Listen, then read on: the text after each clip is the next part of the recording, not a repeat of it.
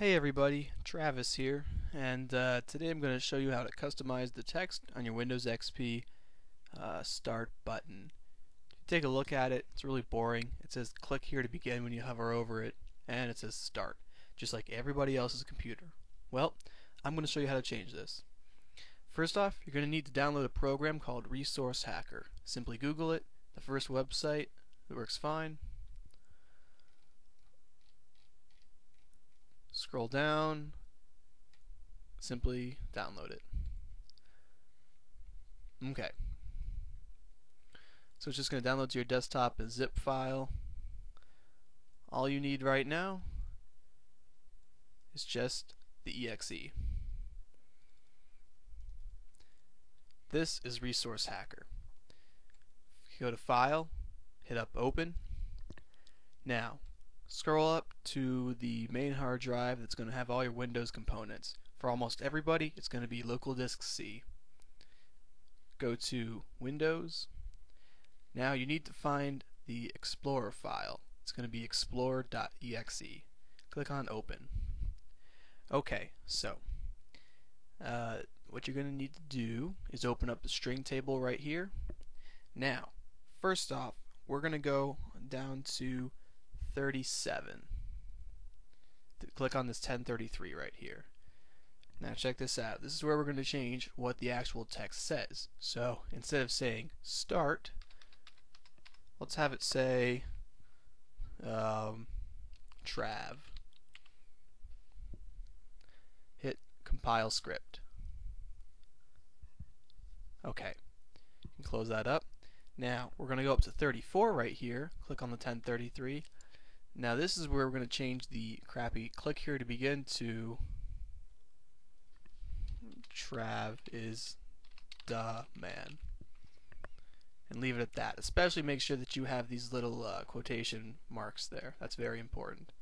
Hit compile script. Okay. Now, it's not a good idea to save this as Explorer in case anything goes wrong. So we're going to do File, Save As. Let's call it Explorer underscore trav. I highly recommend you do something similar to this. And then type .exe and save it inside your Windows folder. This is especially important. Hit save. Okay. You can quit Resource Hacker now. Now, you're going to go want to go to Start, Run, type in regedit for Registry Editor. Hit OK. Okay, now this is this part's important. I'm going to walk you through what I did here. Probably going to have something like this. You want H key local machine. Sorry about that. You want to scroll down to software right here. Open that. Then you want to go all the way down to Microsoft. Open that. Scroll on down to Windows NT, which is right here. Notice it's open. Then you open up this next tab, current version, make sure you open it. And you are going to scroll down to WinLogon. Okay. Now, click on the shell file. Take note that it's routed to explorer.exe. Double click it. Yep, you guessed it. Change this to whatever you saved the uh, file you made in regeditor as. If you want to check, you can go to Start, My Computer, Local Disk C, Windows, and then check up should be right next to explore. So check note, it's spelled explore underscore trav. So explore underscore T-R-A-V dot exe. No need any parentheses, just do it like this. But you have to make sure exactly that it matches this.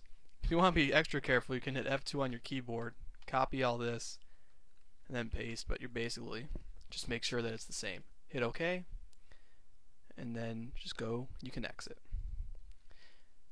Now, simply restart your computer and you'll notice that this has been changed to something very cool. Thanks for watching.